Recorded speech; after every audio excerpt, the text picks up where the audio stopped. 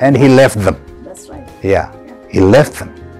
And look, from Jerusalem all over the world, they spread. There's no reason why Christianity should decline, Exactly. but it is declining. Yes.